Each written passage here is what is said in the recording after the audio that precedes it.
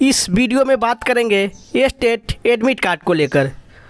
तो बिहार विद्यालय परीक्षा समिति ने स्टेट पुनर्परीक्षा के लिए एडमिट कार्ड जारी कर दी है। इस एडमिट कार्ड को आप हमारे कमेंट सेक्शन में जाकर लिंक से डाउनलोड कर सकते हैं। कमेंट सेक्शन में मैंने लिंक प्रोवाइड कर दिया है। दूसरे इसमें दिया हुआ है आपको, पहले क्या कर लेना है कि एप्लीकेशन नंबर डाल देना है। एप्लीकेशन नंबर डालने के बाद आपको इसमें डेट ऑफ़ बर्थ डालना है यहाँ पे। और लॉगिन कर लीजिएगा, उसके बाद आपका एडमिट कार्ड आ जाएगा। एडमिट कार्ड आने के बाद आप क्या करेंगे कि सिर्फ़ सेंटर का नाम और आपका कहाँ दिया हुआ है एड्रेस वो देख लेंगे।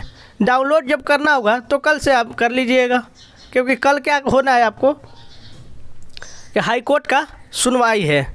तो आप कल के बाद डाउनलोड कर सकते हैं, चाहे कल ही मतलब जब सुनवाई हो जाए तो आराम से डाउनलोड कर सकते हैं। Thanks for watching my video जय हिंद जय भारत